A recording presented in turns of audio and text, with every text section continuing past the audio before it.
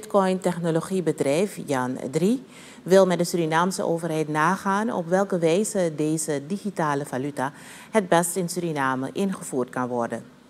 Twee topmannen van het bedrijf hebben de media vandaag op een persconferentie geïnformeerd over toepassing van Bitcoin-strategieën in Suriname.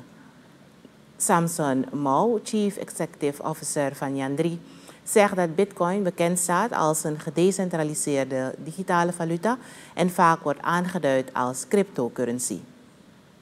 So we are from Jan 3. Uh, Jan 3 is a company working on nation state Bitcoin adoption. So we're focused on helping countries, governments, politicians implement Bitcoin strategies in their country. Uh, we've worked with the government of El Salvador, the government of Madeira, and many others around the world. And we hope to be working with your government here in Suriname to implement a Bitcoin strategy.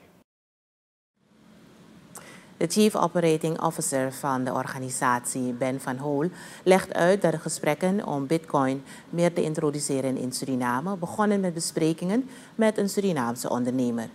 De mogelijkheden van de digitale munteenheid zijn volgens de Jan 3-topman voordelig voor de economie. We zien positieve effecten van landen die Bitcoin adopteren, zeg maar. Suriname is een uh, goed voorbeeld, want Suriname kampt met inflatie. En Suriname heeft ook noodzaak aan het aantrekken van nieuwe economische projecten. En dat zijn zaken die we kunnen realiseren.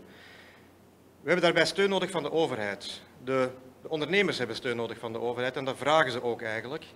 En de overheid zou een legaal kader moeten creëren dat toelaat om bitcoin te gebruiken in de economie op een heel eenvoudige manier eigenlijk.